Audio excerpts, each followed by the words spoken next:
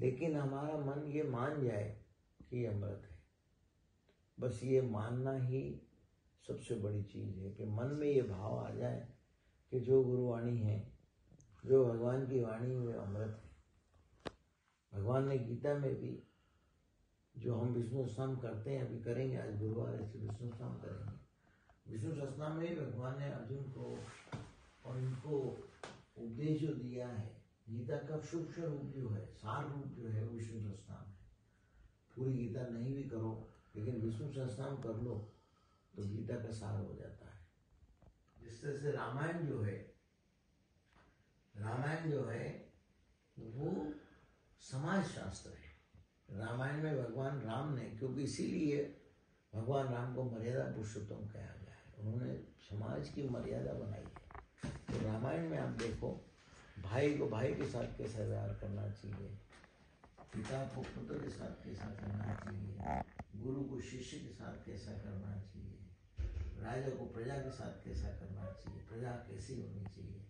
प्रजा राजा कैसा होना चाहिए? किसके साथ?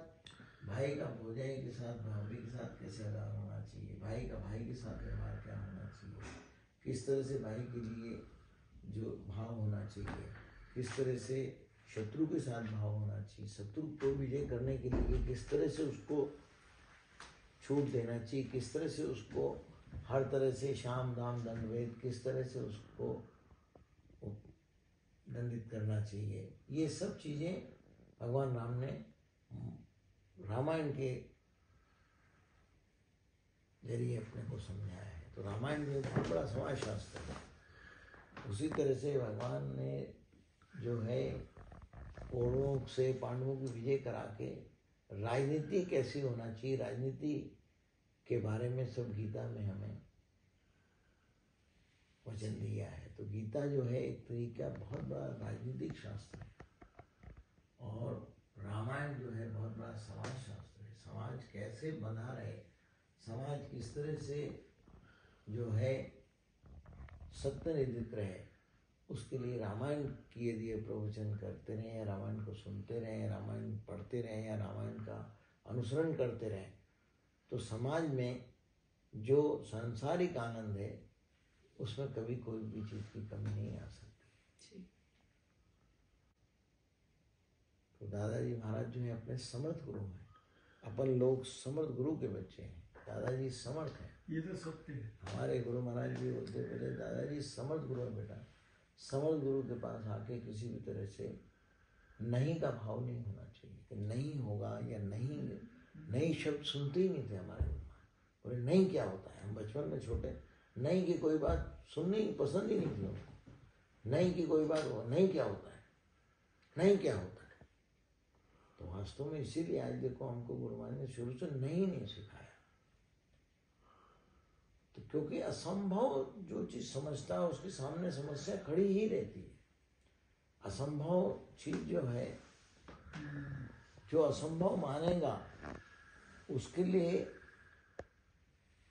असंभवता ही जीवन में उसको सामने लेकिन जो संभव मानता है, उसके लिए जीवन में सफलता होती है। इसलिए हमेशा जीवन में असंभव चीज़ को कभी भी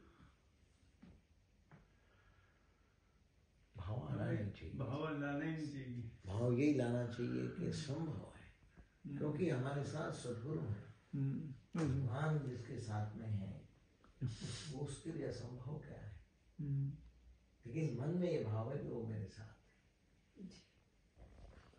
हमें गुरु महाराज की दया से जब तक गुरु महाराज शरीर रूप से रहे जब तक तो गुरु महाराज जब पास में बुलाते थे जब हम चले जाते थे नहीं भी बुलाते तो हम जब बैठे रहते थे तो जब हमें गुरु महाराज क्या पास होना दूर होना सब शरीर रूप से दिखता था कि हम शरीर के पास चले गए उनके पास चले गए तो लगता गुरु महाराज के पास है।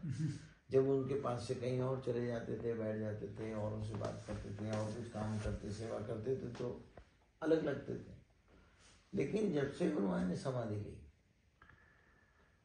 और गुरु महाराज समाधि लेने से पहले कुछ चीज़ें ऐसी गुरु महाराज ने बताई एक बार मैं कुछ पूछ रहा था तो गुरु महाराज अरे बेटा,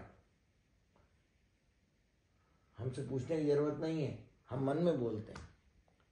हमारी चमड़े की ज़ुबान नहीं है जी।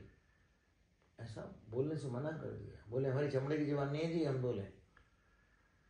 बोले, फिर मेरे से बोले, हम मन में बोलते हैं। देखो, हमारे पास आके खाली मन में भाव रखो। अपने आप आपके मन में जवाब मिल जाएगा। ये मेरे को गुरुवार ने कुछ टाइम पहले समाधि से कुछ टाइम पहले ये चीज़। ज़्यादा, पहले भी बोलते थे कभी, लेकिन उस समय ज़्यादा बोलना शुरू किया। ज़्यादा ये चीज़ करके और वो चीज़ सिखा दी। उनकी समाधि के बाद ये चीज़ का सब अनुभव हुआ कि वो चीज़ गुरु महाराज, जो भी हम भाव रखते थे, उनके सामने भी ये शुरू हो गया था कि हम बस मन में भाव रखते थे और अपने आप मन में एक लाइन आ जाए, ऐसा कर लो, ऐसा कुछ भी। अब उनकी समाधि के बाद भी जो चीज़ हम सोचते हैं उसमें गुरु महाराज की कभी कभी खांसी की आवाज़ आती है मेरे को जैसे खांसने की आवाज़ आई। खांसने की कान में अंदर आवाज़ आती है और एक ऐसा कर लो एक लाइन ऐसी आ जाती है ऐसी इंट्यूशन आ जाता है ऐसा कर लो ये कर लो। तो अभी मेरे वो तो मेरे को तो प्रत्यक्ष रूप से आती है। लेकिन गुरु महाराज जो उस समय हमें फिर भी कमरे से बाहर आने के बाद ऐसा लगता था हम गुरु महाराज से दूर गए लेकिन अब उनकी समाधि के बाद से तो दूरी लगती ही नहीं हमेशा पास लगती है। ऐसा मेरा अपना अनुभव है। ये सबका अलग अलग अनुभव है। मुझे तो गुरु महाराज बिल्कुल पास लगते हैं।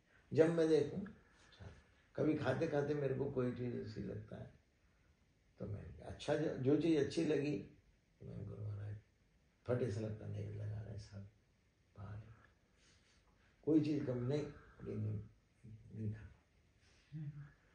मना कर जैसा उनको कभी तो अंग संग की बात गुरु महाराज कहते थे पहले।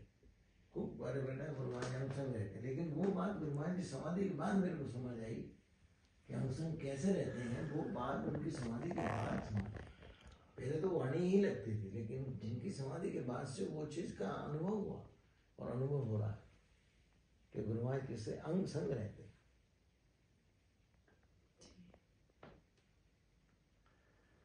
तो इसलिए की वाणी है। गुरु महाराज की दया हमारी माई राम करी थी कोई प्रसंग सुनाना है मैंने कहा अच्छा भी जो ध्यान आ जाएगा हमको कोई कथा वथा तो करते नहीं है। हमें कोई ऐसा भाव है नहीं। लेकिन मैंने कहा ठीक है जो आ जाएगा मन में श्री धोनी वाले दादा की जय श्री मैया की जय।